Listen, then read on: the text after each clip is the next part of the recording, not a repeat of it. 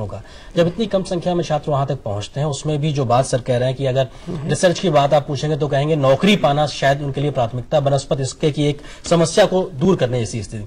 ऐसे जो हमारे हालात हैं आज की तारीख में, इन हालातों में आप किस तरीके से देखते हैं कि इनको और बेहतर तरीके से सुलझाने की कोशिश हो सकती है? क्योंकि आप लंबे समय से इन सारी चीज़ों से दो चार होते आए आपको शायद बेहतर एक रास्ता नज़र आता होगा।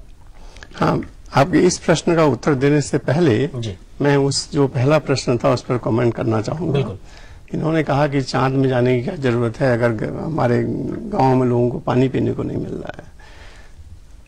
चाँद में जाने का जो शोध हुआ है वहाँ तक पहुँचने के लिए उसके उसके स्पिन ऑफ्स आप देखिए उससे कितनी टेक्नोलॉजीज़ निकली है। उसका आपको बिल्कुल एहसास नहीं है। आप सब लोग सुपर ग्लू इस्तेमाल करते हो थोड़ा सा लगाएँ तो एकदम से चिपक जाता है। उंगली में लग गया तो उंगली भी चिपक जाती है। आपको पता है वो सुपर ग्लू कैसे आया? वो सुपर ग्लू आया स्पेस रिसर्च की वजह से।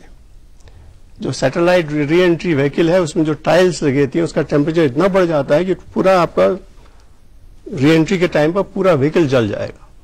तो उसको बचाने के लिए उसमें सुपर इंसुलेशन टाइल्स लगी रहती हैं और वो टाइल्स चिपकी होती हैं सुपर ग्लू से। एक मैं आपको एक छोटा सा उदाहरण दे रहा हूँ।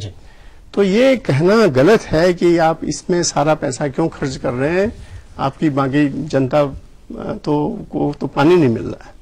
ये हमेशा जो है समानांतर पैरेलल ढंग से डेवलपमेंट होना चाहिए। आप हाई टेक्नोलॉजी को भी देखें और आप विलेजेस के भी क्या बिल्कुल कदम ताल करनी पड़े कुछ और सवाल ले लेते हैं सर फिर आपके पास लौटेंगे। जी। साहब इस बात से भी तो इनकार नहीं किया जा सकता कि पिछले पचास वर्षों में रिसर्च को रिसर्च के ड्राइवर्स जो थे वो हमारी स्ट्रेटेजिक और डिफेंस नीड्स थी।